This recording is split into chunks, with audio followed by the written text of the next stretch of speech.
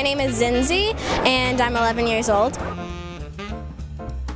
Probably just come here and experience it because it's my first time coming to Sprockets and and I just want to see what it's like and I hope it's fun. Um, I enjoy comedy or, or romantic comedy. Um, I'm seeing Jitters tomorrow, Crocodile Strike Back, and The Secret Letter.